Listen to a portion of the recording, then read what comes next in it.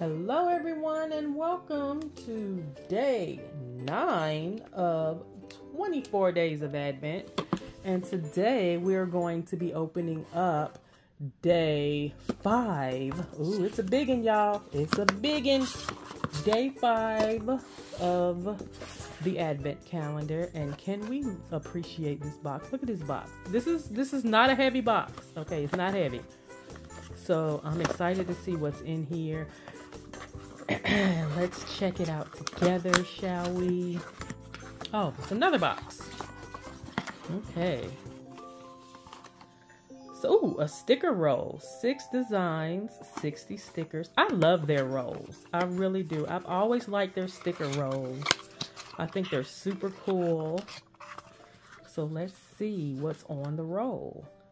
So we have, which way is it rolling? This way. So let's open it here. So it's, it said there's six designs. So we have a tracker.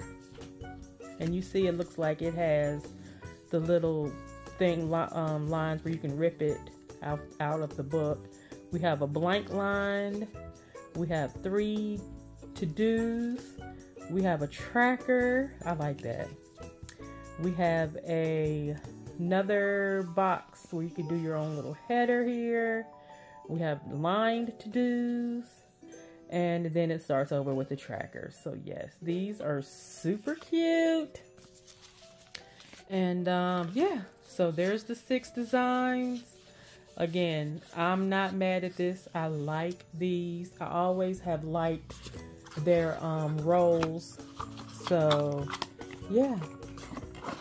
So this is day nine of 24 days of Advent and day five of Archer and Olive.